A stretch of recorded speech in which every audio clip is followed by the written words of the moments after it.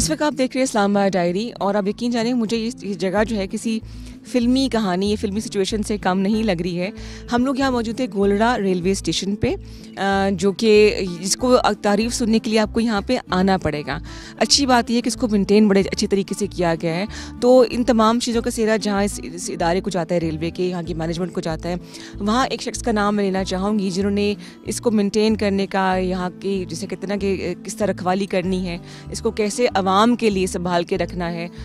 उनका नाम लेना भी बहुत ज़रूरी है। मेरे साथ मौजूद हैं गोलवा रेलवे स्टेशन के स्टेशन मास्टर मोहम्मद इमरान साहब। अलैक्म सर। जी वालेकुम सलाम। कैसे हैं आप? सुबह सुबह आपको तंग किया हमने आके? नहीं नहीं यू वेलकम सर पहले तो इस इस स्टेशन के बारे में बताइए। फिर आपके हवाले से भी हम जानना चाहेंगे कि ये कब तमीर हुआ। सुना अठारहवीं सदी की यहाँ की आर्किटेक्चर है। पाकिस्तान रेलवे में इस पोर्शन में 1861 में ये लाइन जो सी है इसका अफ्ताह हुआ। और 1881 में इस स्टेशन को तामीर किया गया।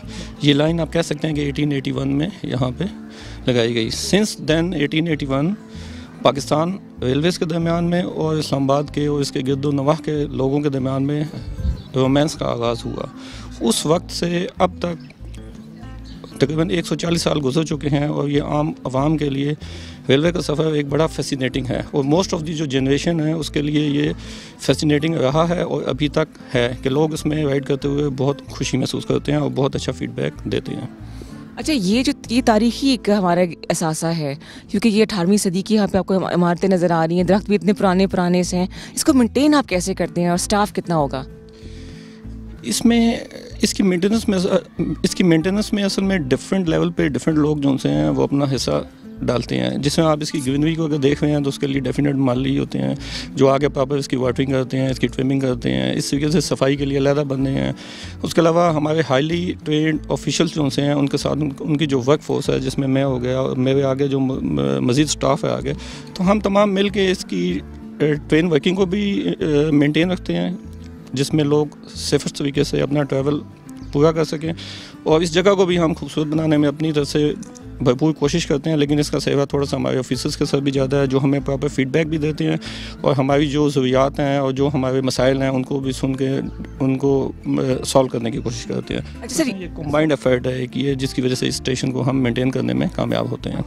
आ, सर यहाँ पे लिखा हुआ है जी ब्राइडल शूट वगैरह के लिए परमिशन लेना ज़रूरी तो ये काम यहाँ पर भी होता है? दुल्हन दुल्हे पहुँच जाते हैं शूट के लिए।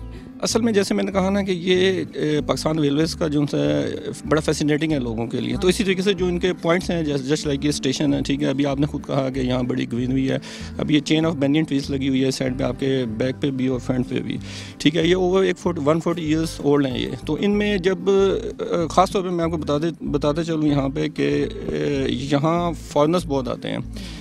ठीक है जिनमें ब्रिटिश और मुख्तफ एम्बेसियों से लोग हैं। तो वो इसको बड़ा कैमरे उनके पास होते हैं, बड़े बड़ा इसको देख के खुश होते हैं, ठीक है, और बड़ी इसकी वीडियोग्राफी करते हैं वो, ठीक है। इसी तरीके से जो दूसरी इस्लामाबाद के पीपल है, इलियट पीपल हो गई, जो बेडल शूट का आजकल ट्रेंड नाम है, ठीक है तो ओपन एयर में यहाँ आपको नेचुरल इन्वायरमेंट भी मिलेगी, और जहाँ भी ट्रेन से मतलब कोई पॉइंट है या ट्रेन कहीं से गुजर हुई तो ऑलवेज फैसिनेटिंग है लोगों के लिए तो उसको उसमें अपने सिनेमाटोग्राफी में लेना चाहते हैं इसको। सर, इसको जंक्शन स्टेशन कहते हैं, वो क्या होता है?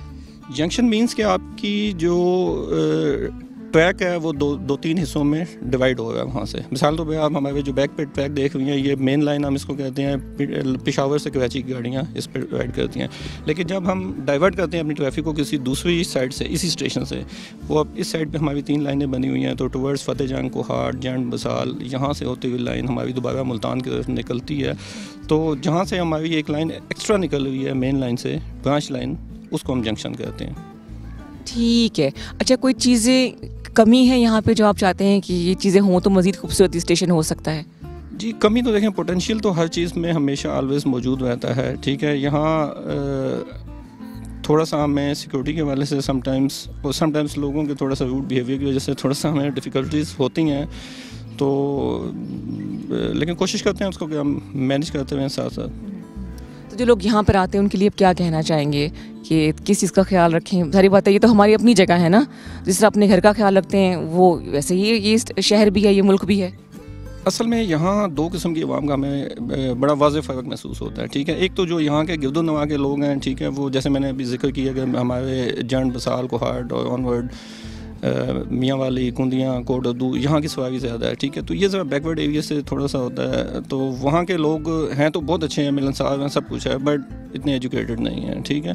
तो उनका एक जगह बैठ, आके बैठना, ठीक है समटाइम्स खाने के बाद वही वापस फेंक देने हैं, ठीक है? तो उस चीज़ को प्रॉपर मेंटेन नहीं रख पाते। उसकी नस्बत हमारे जो संवाद के लोग हैं, ठीक है, वो अगर कुछ खाएँगे तो वो अपना साथ ही ले जाएँगे जिसको डस्टबिन में डालेंगे। तो ये थोड़ा सा पढ़े लिखे और उसमें थोड़ा सा डिफरेंस आता है। तो उसको बस कोशिश करते हैं कि अपने स्टाफ के ज़रिए जो मेंटेन प्रॉपर रखा जा सके ताकि जो नेक्स्ट आने वाले लोग हैं उनके लिए उनको साफ़ इन्वायरमेंट मिले यहाँ सर यहाँ पे दो मुझे गैलरीज नज़र आ रही हैं। इनके बारे में बताएँगे म्यूज़ियम्स के हवाले से। जी। ये म्यूज़ियम 2003 में हमारे जीएम साहब का अशफाक खटक साहब ने शेख शीद साहब के दौर में स्टार्ट किया। यहाँ बेसिक एक तो बनाने का मकसद ये था कि ये स्टेशन थोड़ा सा शहर से हट के है। सेकंड इसको इस्लामाबाद टच करता है। तो म्यूज़ियम जहाँ भी होगा तो इसको ज़्यादातर पढ़े लिखे लोगों की डिमांड है ये। तो इसमें जो चीज़ें रखी गई हैं, उन लोगों की अट्रैक्शन के लिए वो अट्रैक्शन का बायस बनती हैं। यहाँ पर ज़्यादातर ओल्ड चीज़ें और वेल से वेल में इस्तेमाल होने वाली चीज़ें जो वेल की वर्किंग में भी यूज़ होती हैं। उसके अलावा जो पुराने वक्तों की जो ओल्ड अभी डिस्कार्ड हो चुकी हैं, ख़त्म हो चुकी हैं तो हमने एक उसको यादगार के तौर पे यहाँ संभाल के रखा हुआ है, ताकि लोगों को अपने, हम जो नई जनरेशन आ रही है, वो अपने पुराने पीछे की तरफ़ अगर देखें तो उनको पता लगे कि हम किस दौर से निकल के आगे, कौन से पीरियड में जा रहे हैं आगे। इमरान साहब बहुत शुक्रिया। आपका हमने इतना सारा टाइम भी लिया, मसरूफ़ भी होते हैं। तो अब आप मेरे खास गैलरीज देख लेते हैं। ठीक है thank you ji. Thank you once again बहुत शुक्रिया जी।